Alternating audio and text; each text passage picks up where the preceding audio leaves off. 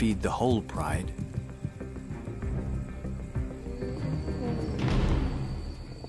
But not this big. When hippos are angry, they're very dangerous and could easily kill a lion.